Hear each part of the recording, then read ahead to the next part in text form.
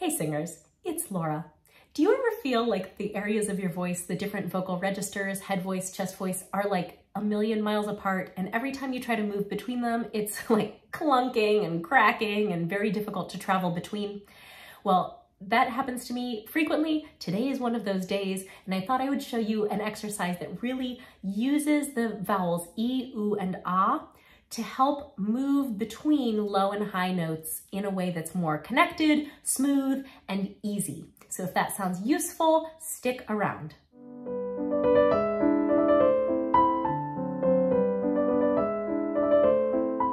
So this is the third video in a little mini series about vowels. I've just been obsessed with vowels lately.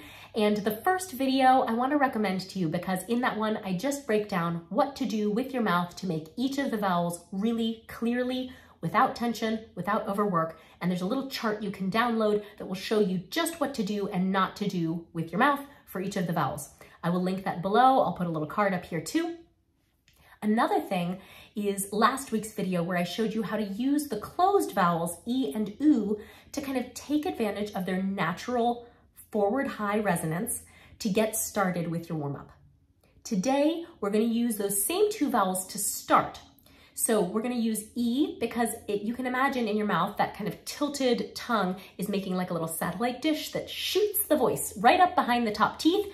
E, a nice focused, bright place to begin. And then as we slide to oo, we're gonna find more heady kind of dome resonance. So slide back and forth between those vowels for me, just to feel what I'm talking about.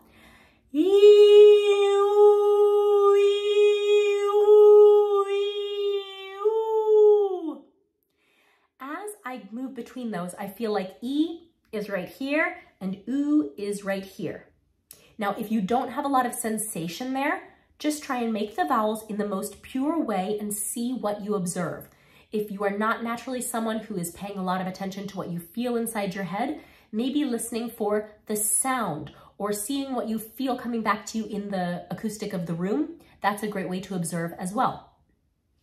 For this exercise, we're gonna start with that E to oo and then open to ah without losing any of that headiness or without clunking back down into a lower register. Because as I said, we're gonna be taking advantage of these vowels qualities to help us move high to low to high without so much trouble between the registers.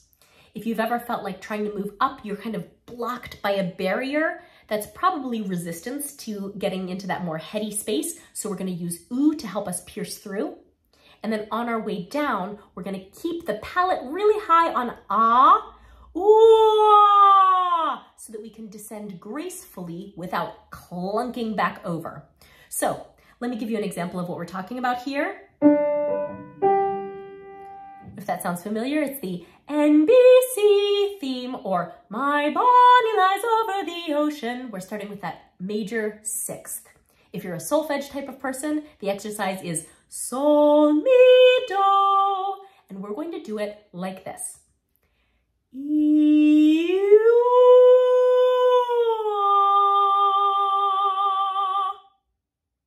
it is essential that you slide both ways. Don't teleport. You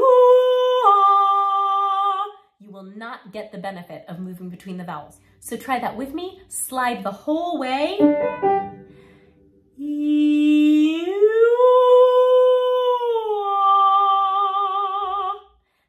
Go here.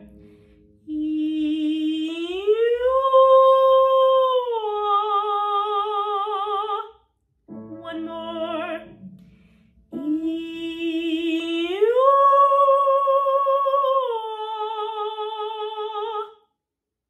Now a few troubleshooting things to watch out for. Number one, make sure you're sliding. I know I just said it, but it's very hard for some folks to slide. Make sure you're sliding in both directions. You can think about kind of smearing through every possible microtone between those pitches. Cover them all. Really, really keep your tires on the road. Number two, work as little as you need to in the mouth to make E, oo, and ah. You don't need to go E, oo, ah. Just do the minimum amount of work necessary first with the tongue for E, Round lips, ooh. Palate up, ah. Let's try that again here.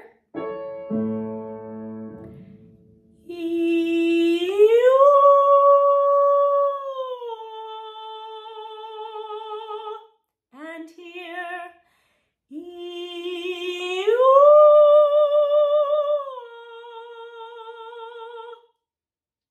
Now, as you travel upward, pay a little attention to what's happening in the jaw. The jaw is always wanting to help you out. It wants to help you sing a high note. It wants to help you sing an oo vowel. It really wants to help you sing an aw vowel. So make sure that it's just staying in that loose position here. Don't let it over participate, especially by jutting out. In this process, it can just hang and be relaxed. Let's do one more. And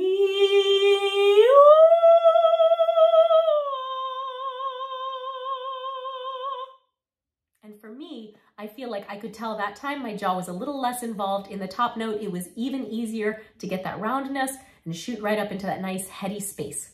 So let me know if this is helpful. You can use those vowels to navigate you in between your registers. You can even use that as kind of a little trick in your mind. As you're moving upward in a phrase, if you're finding some resistance, think I'm moving toward ooh. And then as you come down, if things are kind of falling into your throat and becoming a little uh, dull, imagine moving toward E on the way down.